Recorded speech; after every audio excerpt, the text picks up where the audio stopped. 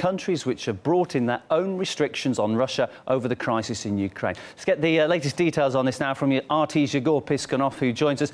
Um, we saw last week, Yegor, the, uh, the sanctions that were brought in, fresh ones from Brussels and Washington against Russia. Russia's responding now. Just bring us uh, the details. Well, the president has signed a decree which either bans or limits importing products from uh, countries which have been taking part in sanctioning Russia over its policies uh, on Ukraine. This means products from the US and Canada, EU member states, uh, Japan, and Australia. Now, uh, the sanctions uh, will affect uh, farming goods, uh, raw materials, and food.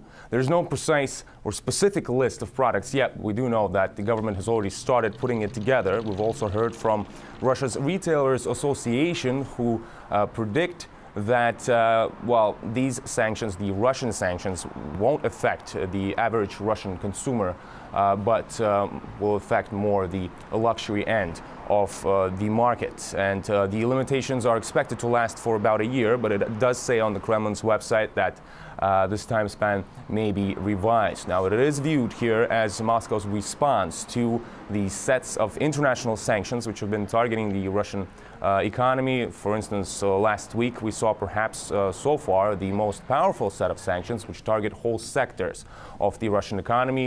Uh, several companies have already felt their effect. In fact, some uh, Russian companies had to temporarily suspend their operation altogether. But not only in Russia, uh, their Western partners have also felt the Malaysia, effect of these Australia, limitations as well. In fact, recently, Britain's largest labor union has called on its government not to take part in sanctioning Russia, saying that uh, they don't only affect Russian companies but British firms as well.